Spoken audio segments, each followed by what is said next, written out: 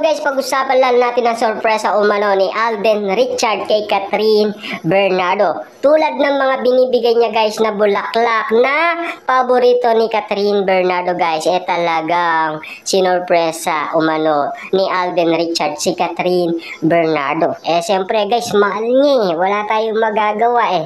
ba? Na in love umano kay Catherine Bernardo. Ika nga guys ng balita, na-develop umano ang pagmamahalan ni Alden Richard at Catherine Bernardo sa Canada dahil sa Hello Love Again. Eh, kitang-kita nyo naman guys, talagang hindi binibitawan ni Alden Richard si Catherine Bernardo, ba? Grabe nga naman kasi ang sorpresa ni Alden Richard. May pabukay pa talaga. Yung feeling siya talaga guys, eh, pinaparandam talaga guys kay Catherine Bernardo. Talaga yung pagmamahalan Alden Richard at Catherine Bernardo guys, eh, spotted talaga. ba?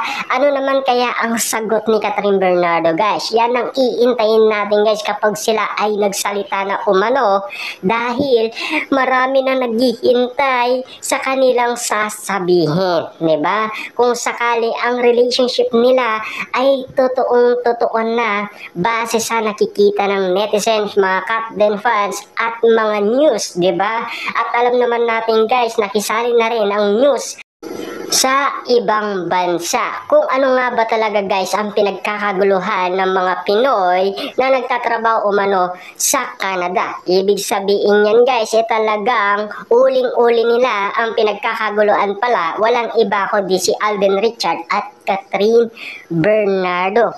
Ibig sabihin lang yan guys, eh marami talagang matang nakakakita sa kanila.